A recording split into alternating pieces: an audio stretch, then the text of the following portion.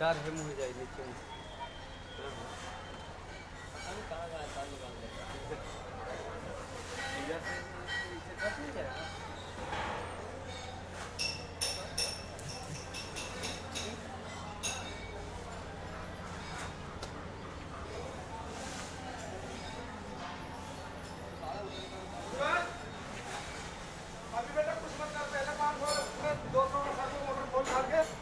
पाली guide roller वगैरह लगा दो उसमें, ठीक है?